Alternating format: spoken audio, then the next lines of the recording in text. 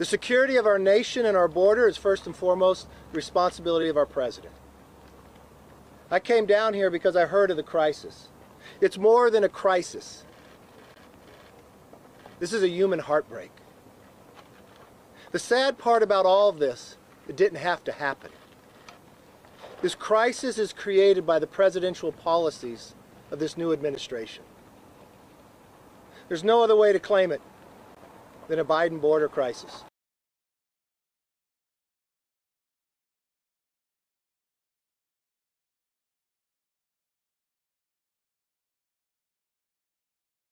The biggest stories the moment they happen from around the globe. Subscribe to Bloomberg Quick Take now for insight in an instant.